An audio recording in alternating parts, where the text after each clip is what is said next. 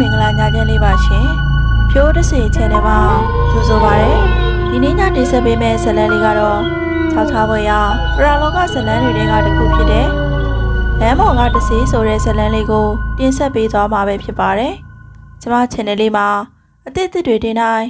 အမြင်နှားဆင်နိုင်ဖို့အတွက်လည်းကျမ channel လေးကို like and subscribe လေးလုပ်ထားပေးကြပါဦးနော်။ဇာတ်လမ်းလေးကဒီလိုပါ ခလန်းလန်းမှာလက်တားနေတဲ့လူတယောက်ကိုကားမင်းအောင်အောင်မှာမြင်တွေ့လိုက်ရတာကြောင့်မလို့စက်ချိန်ကိုရှော့ချပြီးတော့အသေးချာကြည့်လိုက်ပါတယ်။တဖြည်းဖြည်းနီးကပ်လာတာနဲ့လက်တားနေတဲ့သူကအမျိုးသားမဟုတ်ဘဲနဲ့အမျိုးသမီးတအူဖြစ်နေပါတယ်။အချိန်ကလည်းမနက်တနာရီထို့ဖို့10မိနစ်သာလိုတော့တာကြောင့်အခုလိုချိန်မျိုးမှာအကူကြီးတောင်းခံမဲ့သူလည်းဖြစ်နိုင်သလိုမယိုးသားတဲ့ဂျန်စီနဲ့ လက်တားတာလည်းဖြစ်နိုင်ပါတယ်။ဤသို့ဆိုသည်အချိန်မတော်လက်တားနေတဲ့သူကအမျိုးသမီးဖြစ်နေတာကြောင့်ကားရက်ပြီးတော့မေးမြန်းကြည့်ဖို့အတွက်ကိုစေဝင်းဆုံးဖြတ်လိုက်ပါတယ်။သပင်ဖျားလားချထားပြီးတော့ထမိန်ဖယိုဖယဲဖြစ်နေတဲ့အမျိုးသမီးကထိတ်လန့်တကြနဲ့ကားစီကိုပြေးလာတော့ကြောင်းတတိထားပြီးတော့စောင့်နေလိုက်ပါတယ်။အနီးနားပတ်ဝန်းကျင်ကိုကြည့်လိုက်တဲ့အခါမှာလည်းလူနေအိမ်ကြီးဟူရဲ့မရှိဘဲနဲ့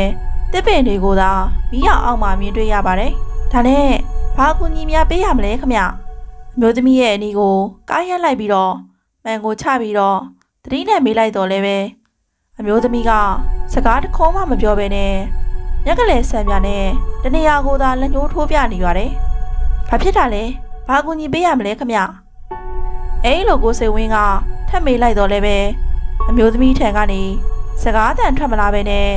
တနေရာကိုသာလက်ညှိုးညွန်ပြနေတာကြောင့်အမျိုးသမီးလက်ညှိုးညွန်ပြနေတဲ့နေရာကိုကြည့်လိုက်တဲ့အခါမှာလဲမိသည့်ရာကိုမှမတွေ့လိုက်တာကြောင့်ကိုစင်ဝင်းတန်တရားဝင်လာခဲ့ပါတယ်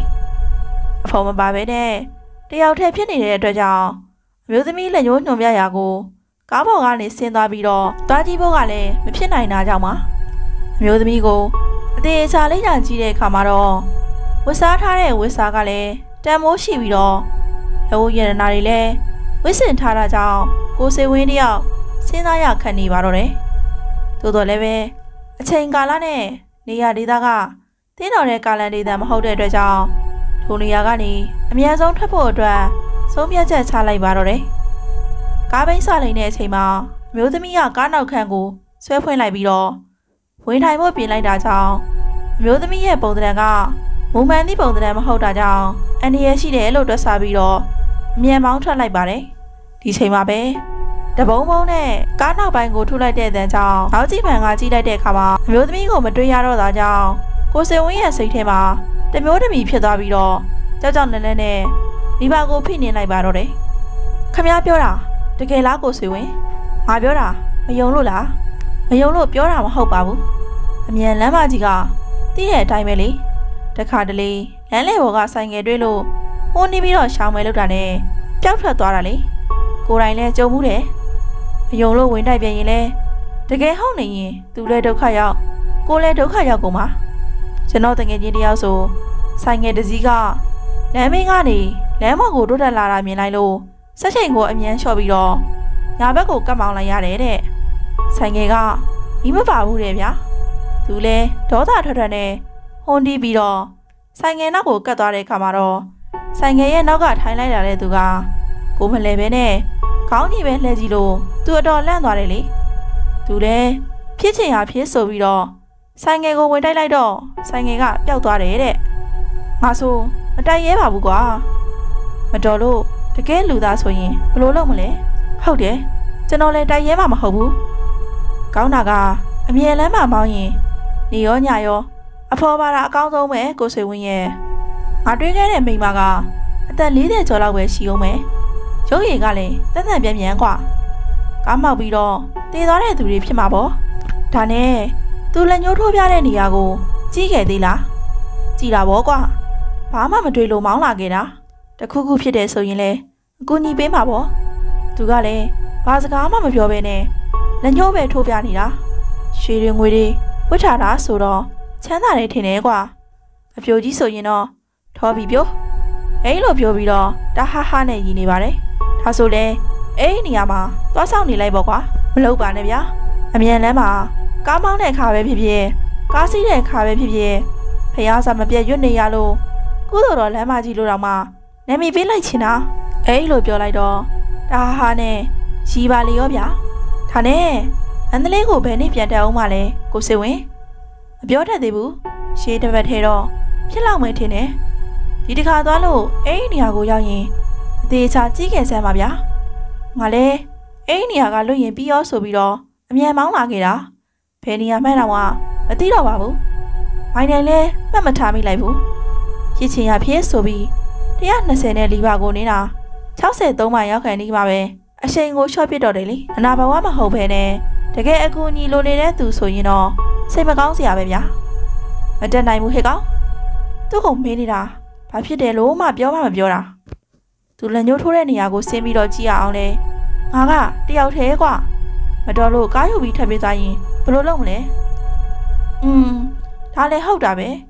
ခုခေတ်ကဘသူ့ကိုမှယုံရတာမဟုတ်ဘူးငါပြန်အောင်မယ်မောင်ဝင်နောက်နေ့မှတွေးကြတာပေါ့ခရီးပန်းလာတော့အနားယူလိုက်အောင်မယ်ကွာဟုတ်ကဲ့ကိုစေဝင်တခုခုဆိုငါစီဖုံးဆက်ဟုတ်ဒီလိုနဲ့အိမ်တော့ပြန်ရောက်ရောက်ချိန်မှာပဲ အဝတ်စားတွေချွတ်ပြီးတော့ရေချိုးဖို့ပြင်းနေစီမှာညီဖြစ်သူကိုကျော်စင်ကနေအနားတော်ရောက်လာပြီးတော့မေးတာကြောင့်အတော်လေးပြောဖြစ်သွားပါတယ်အကိုကားတော့အောင်မလားမင်းဘယ်သွားတရားရှိလို့လဲ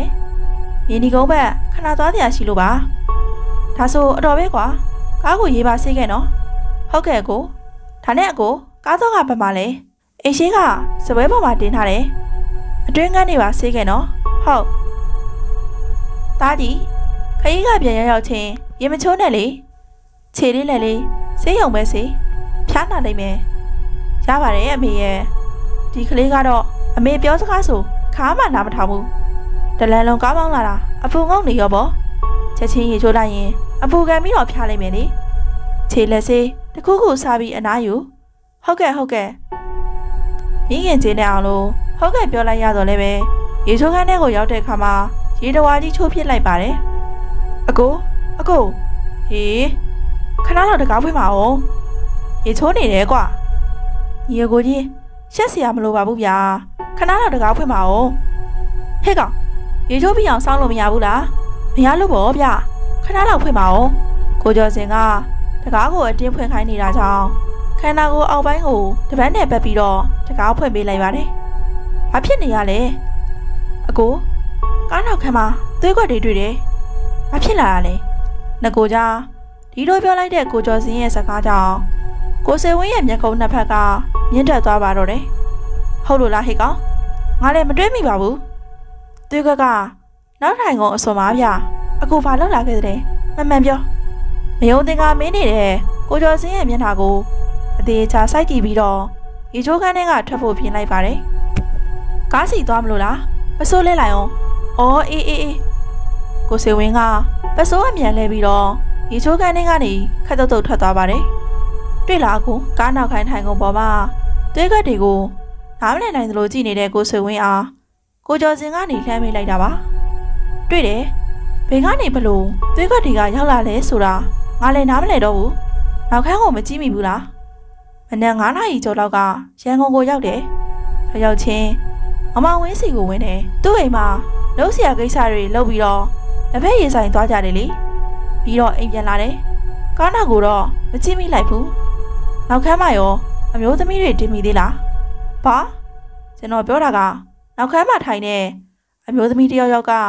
ဓမ္မဒါလာလို့စွန့်သွားတာများလားလို့တွေးကြည့်တာပါ။ဟဲ့ကောင်ငါလုံးနဲ့ငါတော့မှရှားလို့မကုန်နိုင်ဘူး။ထိုင်ခဲ့တယ်ဆိုရင်လဲအစုံမထိုင်မလားကွာ။မဟုတ်ဘူးလေဗျာ။ကျွန်တော်ဆိုလိုတာကအလုပ်ကိစ္စနဲ့ပဲဖြစ်ဖြစ် အတိမိတ်ဆွေတွေကပဲဖြစ်ဖြစ်အကြောင်းတစ်ခုခုကြောင့်ကားနောက်ခန်းမှာအမျိုးသမီးတင်လိုက်မိသေးလားလို့မေးတာပါနောက်ခန်းမှာလူချက်ရင်းနဲ့အစုံမှာမှဲပြီးတော့ထိုင်လို့ရတာပဲလေအတင်ပါဘူးရန်ကုန်ကနေစထွက်တော့115မိုင်မှာခဏနားတယ်အဲဒီကနေမန္တလေးကိုတောက်လျှောက်မောင်းပြီးတော့မန္တလေးကိုရောက်တော့86လမ်းကကိုငငယ်အိမ်ကိုခဏဝင်တယ်လှုပ်ရှားစီတာတွေလုပ်ပြီးတော့ဟိုတယ်ကိုတန်းသွားတာပဲ ဟိုတယ်ကိုကားပါခင်မှာထိုးထားပြီးတော့ကိုဝင်ခဲကားနဲ့ပဲလလုံးချာရှိတာတွေကိုလုံးကြတယ်ပြန်မဲနေမှာအရာတော်ကိုခဏဝင်တာပြီးရနဲ့ရန်ကုန်ကိုတန်းပြီးတော့ပြန်လာခဲ့တာ115မိုင်မှတော့ဝင်မနာခဲ့ဘူးလေဒီလိုအကိုပြောတဲ့အတိုင်းသာဆိုစဉ်းစားကြရပဲ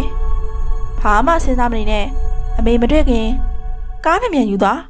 ကားကိုရေးရင်ဆေးပြီးတော့ထိုင်ကုန်စော့လဲလိုက်တော့နော်ဟုတ်ကဲ့အကိုအဲ့လိုပြောပြီးတော့ညီဖြစ်သူကရှိပါလေရော ဘာကြီးလာလဲဟဲ့ကောင်ဘာမှမဟုတ်ပါဘူးသူကကိစ္စကိုစိတ်ကူးပြီးတော့ပုံပေါ်ကြည့်နေတာပါငါကိုမယုံသင်္ကာမျိုးလုံးနဲ့မချီနဲ့ငါဘာမှမလုပ်ဘူးသွားတော့ yes sir ဟေးဘာဖြစ်တာလဲသားကြီးတုံပြီးတော့ချမ်းလာလို့ကဲအမေပြောတယ်မဟုတ်လားအနက်ကလက်ရောက်ချင်းမဲရေချိုးလိုက်တယ်မဟုတ်လားမမှန်ပြောစမ်းဟုတ်တယ်အမေလမ်းသွားအောင်လို့ချိုးလိုက်တာလေအင်းခလေးလည်းမဟုတ်တော့ဘူးပေကက်ကက်နဲ့ရှားတယ်အမေ ပါရာစီတမောက်တစ်လုံးလောက်တောင်းလိုက်မယ်ဟဲ့ကောင်လေးအစာမစားဘဲနဲ့ဆေးမတောင်းနဲ့နေရောငယ်ကောင်းကိုဆံပြုတ်မှာလိုက်မယ်ငယ်ကောင်းပြန်လာမှဆံပြုတ်စားပြီးတော့ဆေးကိုတောင်းမိသားကပြန်လာတာနောက်ကြမယ်အိမ်မှာရှိတာပဲစားပြီးတော့ဆေးတောက်ပြီးတော့ပြန်အိတ်တော့မယ်အတော်ပြောရဆိုရခက်တာပဲဘဝန်းကျင်တစ်ခုလုံးကမိခိုးငွေတွေနဲ့ဖုံးအုပ်နေတာကြောင့်တစ်ဖက်ကန်းကိုပင်တသေးကွယ်ကွယ်မမြင်ရပါမိသည့်နေရာကိုရောက်စီနေမှမသိတော့လည်းပဲ လူသူကင်းမဲ့နေတဲ့နေရာတစ်ခုဖြစ်နိုင်ကြောင်းကိုကိုစဝင်းသိလိုက်ပါတော့တယ်အလင်းရောင်မိမ့်ပတ်ပြအောင်မှာရွှေလျားနေတဲ့မိခိုးတွေကတိမ်တိုင်များနဲ့အလားတရံတူနေပါတယ်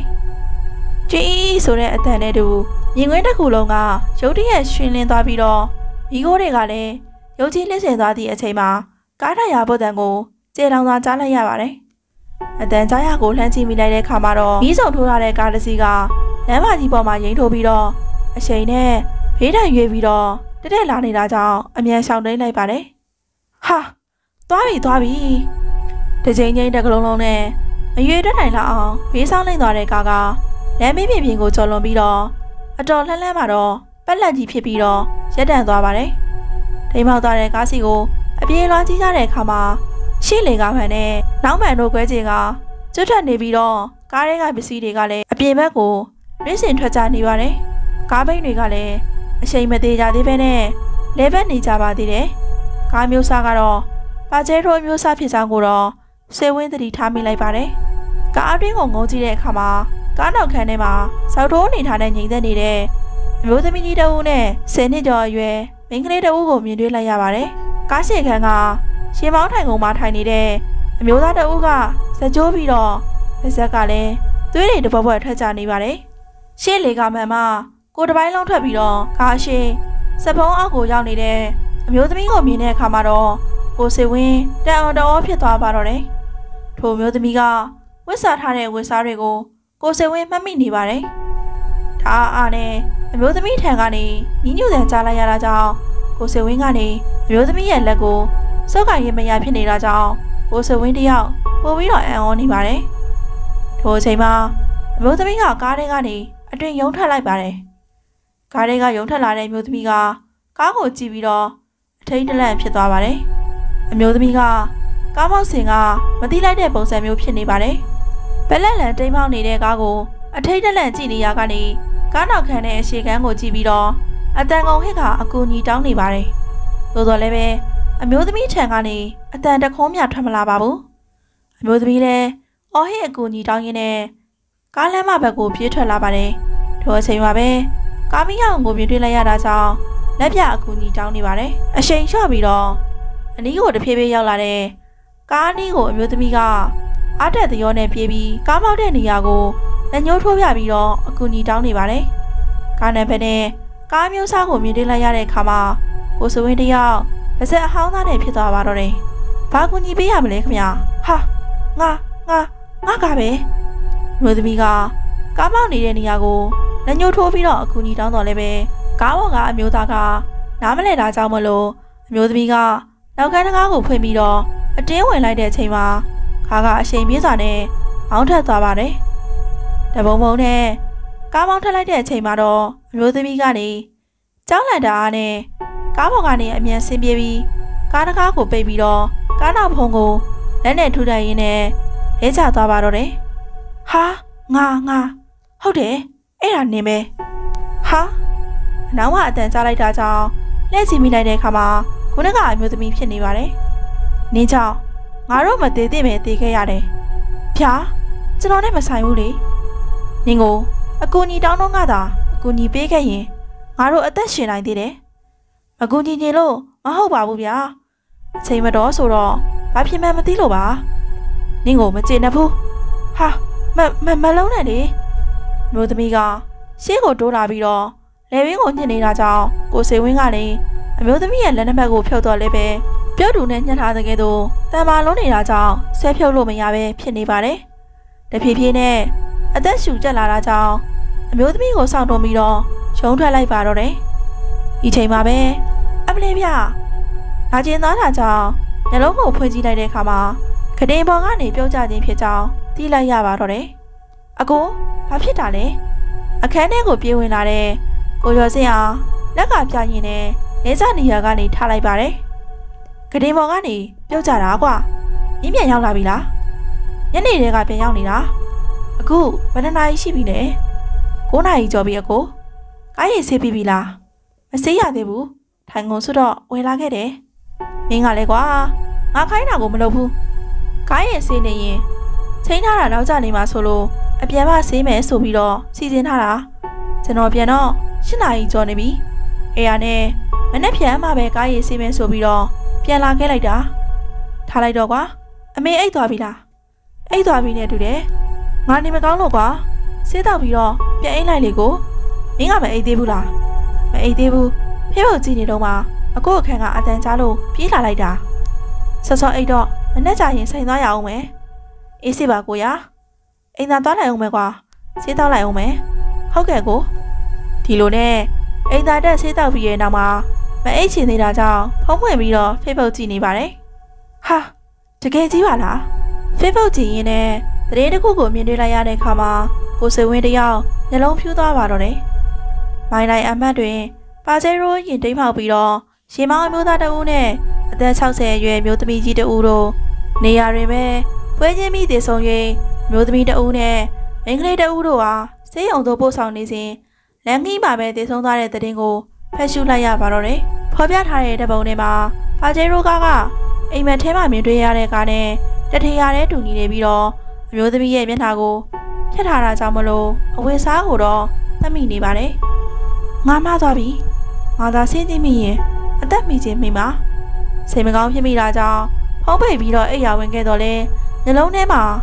ကားတိမ်မောက်တဲ့တဲ့ဓာတ်ပုံတွေကိုသာမြင်နေရပါတယ်။အဲ့ဒီနေ့ကသာကားပေါ်ကနေဆင်းကြည့်ပြီးတော့ကူညီပေးနိုင်ခဲ့ရင်အသက်ကယ်တင်နိုင်ကောင်းကယ်တင်နိုင်လိမ့်မယ်လို့တွေးရင်းနဲ့နှလုံးကိုမိတ်ပြီးတော့စိတ်ကိုလျှော့ချလိုက်ပါတော့တယ်။ဒီလိုနဲ့မိကနေအိပ်ပျော်မိပြုစဉ်နားထဲမှာအတန်တစ်ခုကိုကြားလိုက်ရတာကြောင့်နှလုံးကိုဖွင့်ကြည့်လိုက်တဲ့အခါမှာအဝိဗီရိုတကားကဖွင့်ကြည့်ပိတ်ကြည့်ဖြစ်နေပါတယ်။တကြီးကြီးနဲ့ဗီဒီယိုတကားကိုကြည့်နေစဉ်မှာစာကြည့်စပွဲခုံအားကို ထိုးသိမ်းထားတဲ့ထိုင်ကုန်ကနေအပြင်ကိုအလိုလိုရွေ့လာတာကြောင့်အခန်းမီးကိုပြေးဖွင့်ဖို့အိယာပေါ်မှာထားလိုက်တဲ့အချိန်မှာတော့ထိုင်ကုန်အနီးမှာရက်နေတဲ့အဖြူရောင်ရိတ်တစ်ခုကိုခက်ရဲရဲမြင်တွေ့လိုက်ရပါတော့တယ်။ထိုရိတ်ကလူတစ်ယောက်ရက်နေတဲ့သဏ္ဍာန်ကဲ့သို့ဖြစ်နေပါတယ်။ကိုစေဝင်းကမိခလောက်ရှိရာကိုအခြားတစ်ဖက်ကနေသွားဖို့ကတင်ပေါ်ကိုတက်လိုက်စင်ပါပဲ။အဖြူရောင်ရိတ်ကကတင်ပေါ်ကိုရောက်နေပြန်ပါတယ်။ထိုအချိန်မှာပဲအခန်းမီးကအလိုလိုပွင့်သွားပြီးတော့ ဗီဒီယိုတကားလည်းတပြိုင်နက်ပွင့်သွားပါတော့တယ်။အခန်းမီးကအလိုလိုပွင့်သွားပြီးတော့အချိန်လည်းပြောက်ွယ်သွားတာကြောင့်ကိုစေဝင်းတယောက်တန်တော်ဖြစ်နေချိန်မှာပဲဗီဒီယိုဘေးမှာရှိတဲ့ကိုလုံးဝမန်းကြီးထဲမှာအမျိုးသမီးတယောက်ပုံကိုတွေ့လိုက်ရပါတော့တယ်။ထိုမန်ထဲကအမျိုးသမီးကအဝေးပြေးလမ်းမပေါ်မှာအကူကြီးတောင်းခဲ့တဲ့အမျိုးသမီးဖြစ်ကြောင်းကိုစေဝင်းသိလိုက်ရတဲ့အခိုင်မှာတော့ခြေတော်များကအခန်းတကားဝါစီကိုတဖြည်းဖြည်းရွေလျားသွားပါတော့တယ်။ မန်ထဲကအမျိုးသမီးကိုအကြည့်ရဲကြည့်ရဲနဲ့ကြည့်တဲ့အခါမှာအမျိုးသမီးကရုတ်တရက်နောက်ကိုလှည့်သွားပါတော့တယ်။ဟာကြောပဲရက်နေတဲ့အမျိုးသမီးရဲ့ဦးခေါင်းကနေသွေးတွေစီးကြနေပြီးကြောပြင်တစ်ခုလုံးလဲရွှဲဆိုနေတာကိုမြင်လိုက်ရတာကြောင့်ကိုစေဝင်းတယောက်အလန်တကြားဖြစ်သွားပြီးတော့တနာသွားပါတယ်။ကျွန်ကျွန်ကျွန်တော်အမှားပါ။အဲ့လိုဖြစ်မှန်မှန်သိရင်ကျွန်တော်အကူအညီပေးပါတယ်။ကိုစေဝင်းရဲ့ရင်ထဲမှာကြောက်စိတ်ထက် တနာစိတ်ကပိုလာတာကြောင့်တကားဝစီကိုမသွားတော့ဘဲနဲ့အမျိုးသမီးကိုကြည်နေပါတယ်။မန်ထဲကအမျိုးသမီးကတပတ်ပြန်လဲလာပြီးတော့မိဝဝင်းတောက်နေတဲ့မျက်လုံးတွေနဲ့စူးစူးဆိုင်ဆိုင်ကြည့်နေတာကြောင့်ကိုစေဝင်းထဲလိုက်သွားပါတော့တယ်ကျွန်တော်တောင်းပန်ပါတယ်ဗျာကျွန်တော်မညာပါဘူးကားမောက်နေတာကိုလည်းအမြင်မိလို့ပါသိရင်မနေပါဘူးဗျာကျွန်တော်တကယ်စိတ်မကောင်းဖြစ်နေတာပါမန်နေကအမျိုးသမီးရဲ့မျက်နှာမှာဒေါသကိုးတွေရှန်ထွက်နေပါတယ် ခဏအကြာမှာတော့မန်နေကအမျိုးသမီးပျောက်ကွယ်သွားပြီးတော့အခန်းမိတွေလည်းအလိုလိုမိတ်သွားပါတော့တယ်အခန်းတစ်ခန်းလုံးလည်းမိန်မြပြမီးရောက်အောင်မှာငိမ့်သက်နေပါတယ်အဲဒီအချိန်မှာပဲနီးချောင်းငါတို့မသေးသေးမဲတည်ခဲ့ရတာအနားကိုကပ်လာပြီးတော့ပေါ်ထွက်လာတဲ့အတန်ကြောင့်ကိုစေဝင်းတယောက်လက်ပြလမ်းမတက်ဖြစ်သွားပါတော့တယ်ပြီးတော့ကတင်းဘော်ကိုအလိုလိုခုန်တက်မိတာဖြစ်သွားပါတော့တယ်နင့်ကိုအကူအညီတောင်းခဲ့တော့က အကူအညီမပေးခဲ့တဲ့အပြင်ကားကိုပါမောင်းပြေးတယ်မမဟုတ်ရပါဘူးဗျာအမကကားပေါ်အတင်းတက်လာလို့တခုခုလုံးမဲ့မှတ်ပြီးတော့အောင်ပြေးခဲ့တာပါအမျိုးသမီးရဲ့အတန်ကနီးလာလိုက်ဝေးသွားလိုက်ဖြစ်နေတာကြောင့်ဘယ်နေရာမှပြောဆိုနေမှမသိဘဲနဲ့အခန်းပတ်လည်ကိုတတိထားကြည့်ပြီးတော့ပြန်ပြေးနေရပါတယ်နင်လူစိတ်မရှိဘူးတောင်းပန်ပါတယ်ဗျာကျွန်တော်တခုခုလှုပ်ဆိုလဲလှုပ်ပေးပါမယ်အမားတို့မိသားစုအတွက်အလှူအတန်းလုပ်ပြီးတော့ အမျှပေးဝေပါမယ်မလိုဘူးနင်ကားထဲမှာငါရဲ့ပရင်ပတိလက်ကောက်လေးကျန်ခဲ့တယ်ဗျာနေမောင်းပြေးသွားတော့ကတကားနဲ့ညီးပြီးတော့ငါပရင်ပတိလေးပြုတ်ကျသွားတယ်အဲ့ဒါကိုရအောင်ရှာပါနင်ကားထဲမှာရှိတယ်ဟုတ်ဟုတ်ကဲ့ရှာကြည့်ပါမယ်ငါပရင်ပတိလက်ကောက်ကိုတွေ့ရင်ငါတို့ကားမောက်တဲ့နေရာကိုနင်တယောက်ထဲလာပြီးတော့ပြစ်လိုက်ပါငါစောင့်နေမယ်ဗျာအခုသွားရှာပါကားမောက်တဲ့နေရာရောက်ရင် ပရင်ပတိကိုနောက်ပြန်ပြစ်ပြီးငါ့ကိုတောင်းပန်ပါအဲ့ဒီပရင်ပတိလေးကငါသမီးလေးကငါ့ကိုမွေးနေ့လက်ဆောင်ပေးထားတဲ့ပစ္စည်းအခုသွားရှာအမျိုးသမီးရဲ့အတန်တိတ်သွားပြီးရဲ့နောက်မှာအိမ်ကန်းတကားကအလိုလိုပွင့်သွားပြီးတော့အဖြူရောင်ရိတ်ကလည်းအခန်းထဲကနေအပြင်ကိုထပ်သွားတာကိုမြင်လိုက်ရပါတယ်အိမ်မလားတကယ်လားဆိုတာဝေခွဲမရဖြစ်နေပြီးတော့လက်ဖြံကိုစိတ်ကြည့်လိုက်ပါတယ်အာအိမ်မမဟုတ်တာကတေချာသွားပါပြီအမျိုးသမီးပြောတဲ့စကားက ဟုတ်မှန်သည်မဟုတ်သည်ကလည်းမသေးကြတဲ့အပြင်ချက်ချင်းရှာဝေဖို့ကလည်းတယောက်တည်းမသွားရတာကြောင့်မနဲ့ရောက်တဲ့အခါမှသာကားထဲမှာမွေးနောက်ချတော့မယ်လို့ဆုံးဖြတ်လိုက်ပါတယ်တယောက်တည်းမအိမ်ရဲတော့တာကြောင့်ကိုကျော်စင်နဲ့အတူသွားအိပ်ဖို့ခေါင်းနဲ့ဆောင်ကိုယူပြီးတော့အခန်းဝကိုမျက်နှာမူလိုက်ပါတယ်ဒီချိန်မှာပဲအခန်းတကားဝမှာရက်နေတဲ့အမျိုးသမီးကိုမြင်တွေ့လိုက်ရတာကြောင့်ငဲသမောင်အွန်လိုင်းမိပါတော့တယ်အမလေးဗျ အကိုအကိုဟင်ညလုံးကိုဖွေးကြည့်မိလိုက်တဲ့အခါမှာစိုးရိမ်တစည်းနဲ့လှုပ်နှုံနေတဲ့ကိုကျော်စင်ရဲ့မျက်နှာကိုတွေ့လိုက်ရပါတော့တယ်ငါငါအကိုဘာဖြစ်တာလဲကိုရင်လဲဖူနေတယ်ငါအိမ်မက်မက်နေတာလားတကယ်လားအကိုကြောင်ကတန်းနဲ့ဘာတွေပြောနေတာလဲအကိုအော်စံကြလို့ကျွန်တော်ပြေးလာခဲ့တာဟဲ့သားဘာတွေဖြစ်နေကြတာလဲအမေတော်နိုးသားပြီပဲအခန်းထဲကိုစိုးရင်တစည်းနဲ့ဝင်လာတဲ့ မိခုံကိုမြင်လဲရတဲ့အခါမှာကိုစိတ်ဝင်းတယောက်ထားထိုင်လိုက်ပါတယ်အကိုအော်တန်ကြလို့ဒါလည်းလက်နိုးပြီးတော့ပြေးလာခဲ့တာဟုတ်တယ်အပေါ်တက်ကတော့မှအကျယ်ကြီးကြားလိုက်ရတယ်အဖြစ်တာလဲသားကြီးအိမ်မက်မက်တာပါအမေအကိုကကိုရီလည်းရမ်းပူနေတယ်မေဟုတ်လားမဆက်မအောင်ကိုစင်ဝင်းရဲ့မိခင်ကနဖိုးကိုလက်နဲ့ဆန်းတက်လိုက်ပါတယ်ဟဲဟုတ်ပါတော့တော်တော်ပူနေတာပဲသားငယ်ရင်းနှီးသွားထဲစမ်း ရင်းနှီးပူပူလေးတောက်လိုက်ခဏလေးအမေကြော်စင်ခဏလေးပြောစရာလေးရှိလို့ဘာပြောမလို့လဲသားကြီးယုံနာမယုံနာကိုအသာထားပြီးတော့သားပြောတာကိုအသေးချာနားထောင်ကြပါအထိတ်တက်လန့်ရှိလိုက်တာသားကြီးရဲ့ပြောမှသာမြန်မြန်ပြောစမ်းပါဒီလိုပါအမေကိုစေဝင်းကအမြဲလမ်းပေါ်မှာကြုံတွေ့ခဲ့ရတဲ့အကြောင်းကိုမိခင်နဲ့ညီဖြစ်သူတို့ကိုပြောပြလိုက်ပါတော့တယ်ဖះဖះတနာပါတယ်ကွယ်အကိုပြောတဲ့ ပရင်ပတိကိုကျွန်တော်သွားချကြည့်မယ်ဒီကလေးလဲနေစမ်းမအောင်ဟဲ့အမေပါလိုက်ခဲ့ပါမယ်အမေကဘာလုပ်ဖို့လိုက်ပါလဲသားတယောက်တည်းသွားလို့ရပါတယ်သွားချင်လဲသွားဟဲ့သားကြီးရွေနေပပူလေးတောက်လိုက်အောင်နော်ပြီးရင်ဘီစကစ်မုတ်လေးစားပြီးတော့ဆေးထက်တောက်နော်အမေမုန်းနဲ့ဆေးသွားယူလိုက်အောင်မယ်ဟုတ်ကဲ့မေဟိုကောင်ကပြောမရဘူးအမေထွက်သွားပြီသွားပါစေပြောမရဆိုမရနဲ့ကိုစေဝင်းရဲ့မိခင်ကနောက်ဖေးကိုထွက်သွားပြီးတော့ မကြခင်မှာပဲအခန်းထဲကိုကိုကျော်စင်တယောက်အမောတကောနဲ့ပြေးဝင်လာပါတယ်ဟဲ့ကောင်ဘာဖြစ်လာပြန်တာလဲကားကားထဲမှာ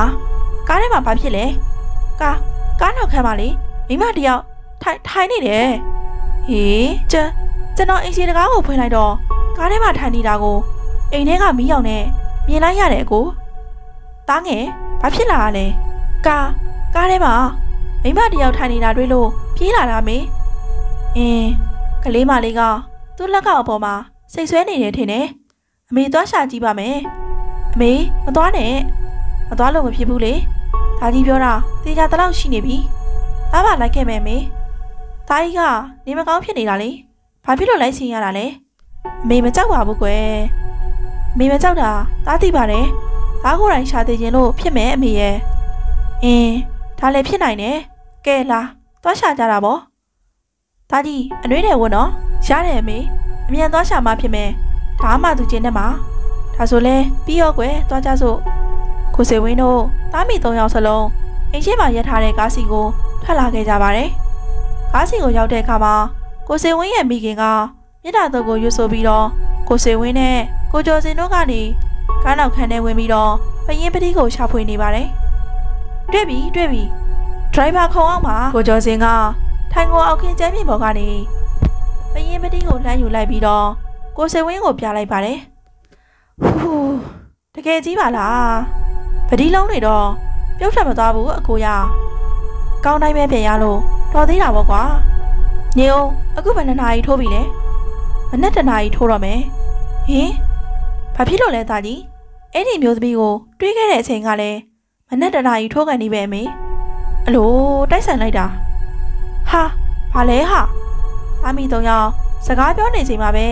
အချက်ပြမီတွေကရုတ်တရက်လင်းလာပြီးတော့ပြန်ပိတ်သွားပါတော့တယ်။သားကြီးအနွေးရဲ့တာဝတ်တော့အမေတို့ကားမောက်တဲ့နေရာကိုသွားကြမယ်။သားကြီးအဲ့ဒီနေရာကိုသိတယ်မဟုတ်လား။ဗျာဟုတ်ဟုတ်ကဲ့ဖြာမနေနဲ့တော့သားငယ်မင်းမဲမောင်းလိုက်နော်။အမေအဝယ်မလဲတော့ဘူး။အိမ်ကားတွေကိုပိတ်ပြီးတော့ပတ်စံအိမ်ယူလိုက်အောင်မယ်။ဟုတ်ကဲ့အမေဒီလိုနဲ့ အနက်ရောင်တိုယိုတာမောင်းအိတ်ကလေးကအဝေးပြေးလမ်းမကြီးပေါ်မှာတရရိပ်ပြေးလွှားနေပါတယ်။ကိုစေဝင်းရဲ့မိခင်ကကားရှည်ကမ်းမှာထိုင်ပြီးတော့ပရိတ်ကြီးဆက်တဲ့တော့ကိုရွတ်ဖက်ပူဇော်နေပါတယ်။ကိုကျော်စင်ကကားကိုဂယူးဆိုင်မောင်းနေပြီးတော့ကိုစေဝင်းကလည်းကားနောက်ခန်းမှာတကားကိုမိပြီးတော့လိုက်ပါလာပါတယ်။ဟေးအဖျားတက်နေပြီထင်တယ်။ပြန်မပဲဆေးရုံဝင်ပြတော့သားကြီးရဲ့ရပါတယ်အမေဒီကိစ္စပြီးဖို့ကအရေးကြီးတယ်။ဟုတ်တယ်သားကြီး ခလေးမလေးတို့မိသားစုကို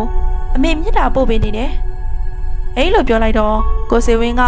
မျက်စိစုံမဲ့ပြီးတော့တဟင်းဟင်းနဲ့ညှိညွတ်နေပါတယ်။အမေဘာလဲသားကြီးပရိတ်ရွတ်နေတာလား။ဟုတ်တယ်လေဘာဖြစ်လို့လဲ။မရွတ်နဲ့တော့အမေ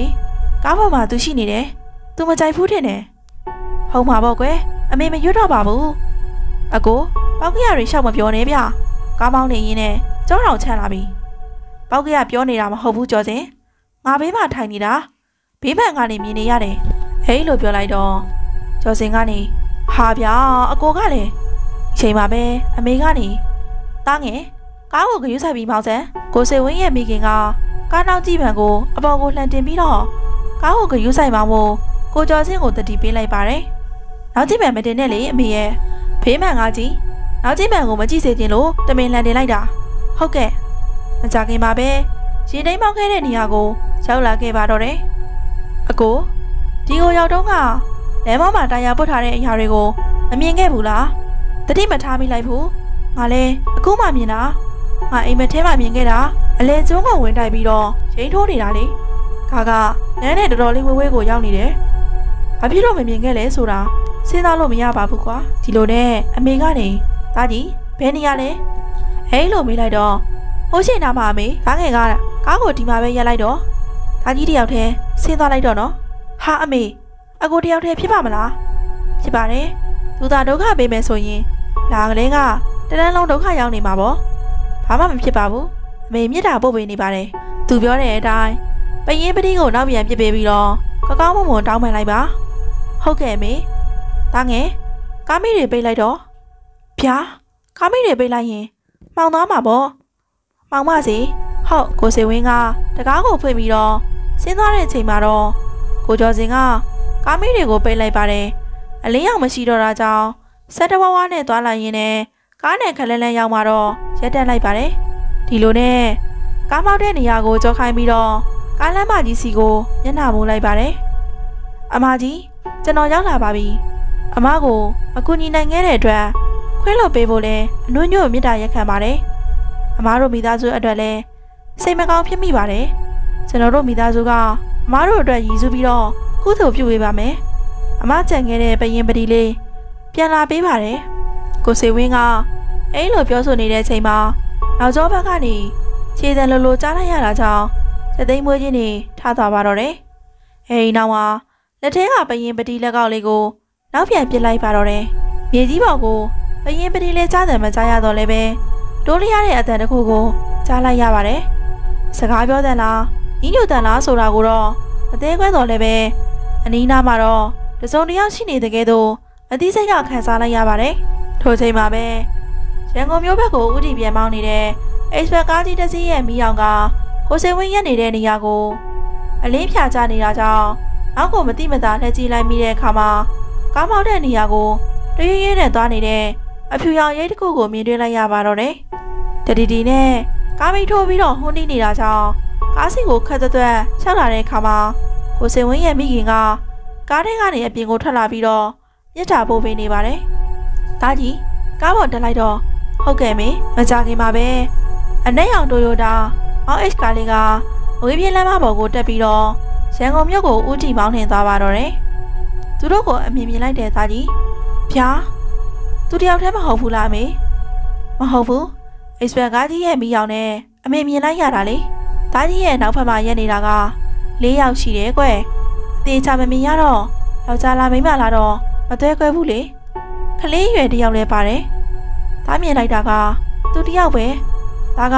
အဖြူရောင်ရိပ်ပဲမြင်လိုက်တယ်မေ။အမြန်ကျွတ်လွတ်ကြပါစေကွယ်။နမီလည်းမသိဘမနေတယ်ဆိုတာလည်းမသိတော့သူတို့အတွက်ကောင်းမှုဘယ်လိုလုပ်ပေးရမယ်ဆိုတာ မသိတော့ဘူး။သူတို့မှာဆွေမျိုးသားချင်းတွေတော့ရှိကြမှာပါအမေရဲ့။အေးပေါ့ကွယ်။သားကြီးသာသူတို့ကိုအချိန်မီဆေးရုံပို့ပေးခဲ့ရင်ဆုံးနေမှာဆုံးပါ။ဟုတ်တယ်မေ။ကားမောက်တဲ့နေရာကကားလမ်းနဲ့လှမ်းတော့လေညဆိုတော့ဘလို့မှမမြင်နိုင်ဘူး။အချိန်တော်တော်ကြာမှတွေ့သွားကြတာ။ပြီးတော့ဆေးရုံပို့တာတော့မှအသက်မမီဘူးဖြစ်သွားတယ်။ကန်ဒီရပေါ့ကွယ်။သူတို့လိုမကြွမလွတ်သေးတဲ့သူတွေလည်း အမြန်လမ်းမှာအများကြီးရှိနေအောင်ပါ။တော်လိုက်ကြပါတော့အကိုနဲ့အမေကကြောက်ပါတယ်ဆိုနေမှပဲ။အေးပါကြောက်တက်လိုက်တာလဲလွန်မာရောလားခုနကမမေမြင်လိုက်ဘူးလားကြော်တင်ကျွန်တော်ကအကြည်ရဲလို့မျက်လုံးမိတ်ထားတာလေအမေကဟွန်းတီးပြီးတော့မိဖွေးဆိုမှအမေခိုင်းတဲ့အတိုင်းပဲလှုပ်ဖြစ်သွားတာအမလေးတတိကလည်းကောင်းမတော့ရန်ကုန်ရောက်ရင်စေးရုံတစ်ခုခုမှာတားကြီးကိုဝင်ပြအောင်မယ်အမေတားဘာမှမဖြစ်တော့ဘူးဟင် ဟုတ်လို့လားဟုတ်တယ်အမေကိုလည်းမပူတော့ဘူးချမ်းလည်းမချမ်းတော့ဘူးမဆန်းနဖူးကိုပြဆန်းကိုစေဝင်းကထိုင်ကုန်ငကူချောင်းကိုဝင်ပြီးတော့မိခင်ထံကိုညနာကိုထိုးပေးလိုက်ပါတယ်အမလေးဟုတ်သားပဲတော့ကိုကအေးဆက်နေတာပဲအင်းဟိုကလေးမကတားကြီးရဲ့နားမှာရှိနေလို့ချမ်းပြီးတော့တုံနေတာဖြစ်မယ်အဲ့လိုဖြစ်တယ်လို့လားအမေအမေထင်တာကိုပြောတာပါဟုတ်ချင်လဲဟုတ်မှာပေါ့လေသူလဲကျင်းနဲ့သွားလောက်ပြီးထင်ပါတယ် တတိတော်ထားပေါ့ကွယ်အိမ်နာရောက်တဲ့အခါတိုင်းမြစ်တာပို့ပေးပြီးတော့တတိနဲ့မောင်းပေါ့ဟုတ်ကဲ့မေတော့ကြာကားပေါ်ကိုထွက်ပြီးတော့လက်တိုင်းရင်တာမတိုင်းရင်ကားထဲပါလာလို့ကတော့အဲ့လိုပြောလိုက်တော့ညီဖြစ်သူကနေအကိုတော်တော့ဗျာလာကားလာမောင်းကျွန်တော်မမောင်းရတော့ဘူးဟာဟာအောက်ကိုမောင်းခိုင်းပြီးတော့နောက်ခန်းမှာထိုင်မယ်ပေါ့လေအေးပေါ့ကွာဘေးကပြတင်းပေါက်မှန်ကိုမကြည့်မိပါစေနဲ့ပေါ့ကားရှိကမိရောက်နေအသေးချာမရနဲ့နော်ကြော်စင် ဟာဗျာတော်ပါတော့ဟုတ်ကဲ့ပါရှင်ဒီဇလန်းလေးကတော့ဒီနေရာနေမဲ့ပြီးဆုံးလို့သွားပါပြီဇလန်းလေးကိုတင်ဆက်ပေးတဲ့သူကတော့ကျမဖြိုးပဲဖြစ်ပါတယ်နားဆင်ပေးသူအားလုံးလည်းကိုယ်စိတ်နှဖျားကျမ်းမာကြပါစေ။